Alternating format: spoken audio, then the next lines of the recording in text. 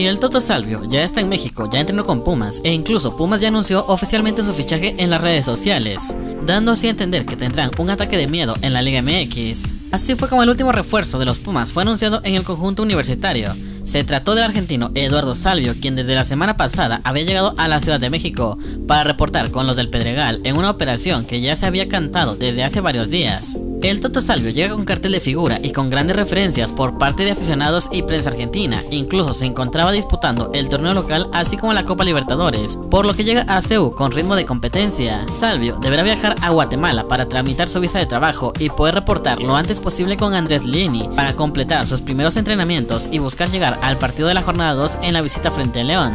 Desde aquel torneo de la Apertura 2020, con un gran plantel, con figuras como Carlos González, Alan Mozo, Joan Vázquez, Juan Ignacio Dineno y Juan Pablo Pablo Vigón, entre otros. Andrés Lini no tenía un plantel tan poderoso o por lo menos competitivo, pues la llegada de Salvio se suma la de su compatriota del prete César Huerta, Dineno y Diego de Oliveira, un ataque que promete goles y llevar a los de la capital a buscar nuevamente un campeonato. En ese sentido, Pumas nos dio a conocer cómo es que fue el primer entrenamiento del Toto Salvio con el equipo de Andrés Lini, en el cual se le puede ver muy feliz y compartiendo sus primeros momentos como jugador del Club Universidad con sus compañeros, así como de su entrenamiento haciendo pases filtrados y tirando a la portería. No olvidemos tampoco que el partido contra León se ha reprogramado, pues estaba planeado que fuera el domingo, 10 de julio, es así como se ha movido un día anterior, el sábado 9 a las 19.05 horas, en donde muy probablemente podremos ver el debut de Eduardo Salvio.